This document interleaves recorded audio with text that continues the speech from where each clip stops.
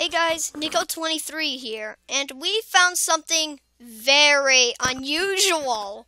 This guy is not behind his desk like he's supposed to.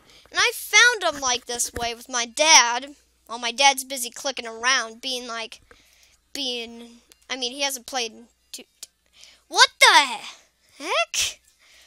Why is he there? Guys, this is a glitch.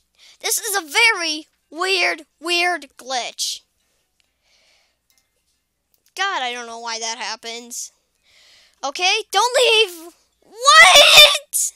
We can get Toon Task from this guy? what the heck? What? This doesn't make any sense. Defeat six over level six cogs. What? This is this is super unusual.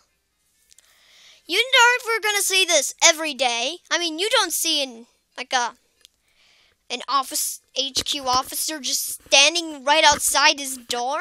Now we're gonna come back in, and we crash. So that's gonna end this video. This was just a short, funny glitch video. I don't know why this happened. We just went inside and did like like he teleported like something like that. It was like, okay, we're gonna end this video right now.